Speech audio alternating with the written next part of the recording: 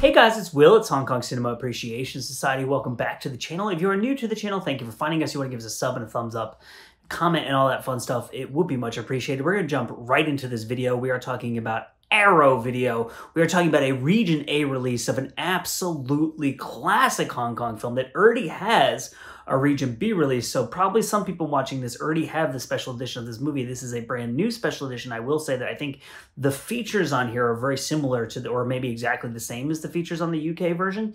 But let's dig in. It's Sammo and it's Millionaire Express. Hell yeah. So Arrow has announced that they are putting this out for Region A the 28th of February 2023. Much has been made about the artwork for this release. Some people love it. Some people are like, what?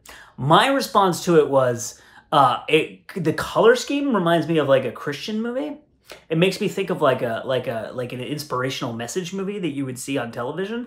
Um, and i don't mean that as an insult. There's just like there's the, the way that the colors are arranged and that there's a sun there's like a rising sun kind of on it and it feels very like glory of god to me. Um, and that's just what i thought of when i saw it but it's a really fun illustration and i like the arrangement of the figures within it. It's got solid lines. I love sammo in the middle holding like this big billy club with his cowboy hat on. So and look this is a freaking awesome movie. And if you've seen my review of the UK release of it, you'll know I think this is a freaking awesome movie. So I'm hella excited that people in Region A will be able to get their mitts on this one because it is being released by Arrow. So let me read you the details of this release. This is a new 2K restoration by Fortune Star. There are four different versions of the film, including a recently assembled hybrid cut. So that is on the um, the Eureka release. And shout out to Brandon Bentley, right, uh, for all the work on that.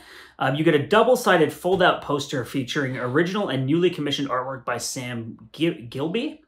So shout out to Sam Gilby for the artwork. Illustrated collector's booklet featuring new writing on the film by Jonathan Clements and David West, who are both great. Reversible sleeve featuring original and new artwork by Sam Gilby. So something else I'll say is that I believe, if I'm not mistaken, that the UK version sold out really quickly and uh, the, the hybrid cut I don't think was on the standard edition. It was only on the limited edition. So there were people out there who wanted to get the limited and weren't able to get their hands on it. Now there's going to be this version. So regardless of the region you're in, if you're region free or if you're in region A, whatever, you'll be able to have this. So high definition 1080p presentations of the original Hong Kong theatrical and extended international cut are on disc one.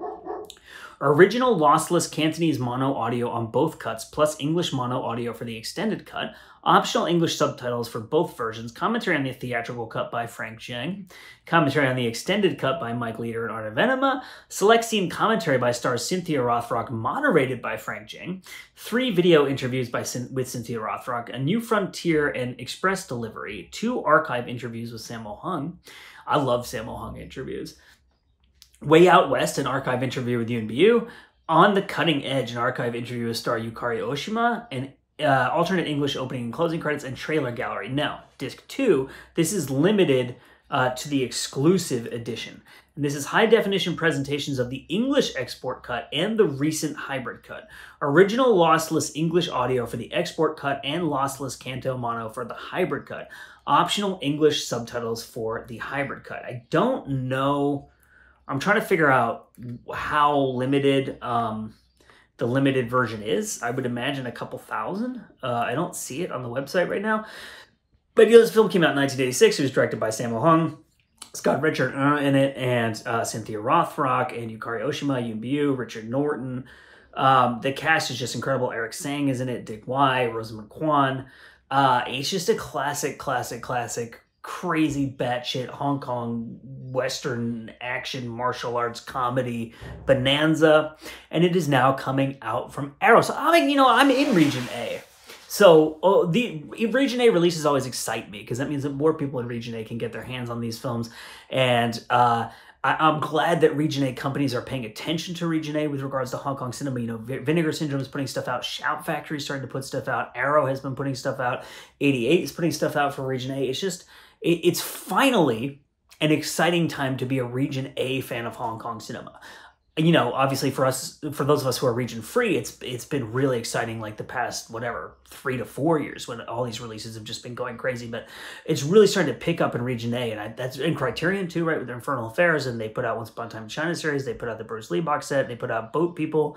They put out um, the Stanley Kwan uh, Rouge and uh, and they put out the police story set a couple years ago. Uh, now I don't, I actually can't remember how long ago that was, but it wasn't too long ago, within the last six or seven years probably. So, anyway, so it's just exciting. So my name is Will. It's Hong Kong Cinema Appreciation Society. Let me know in the comments what you think about this release. I thank you for watching, and we will see you next time.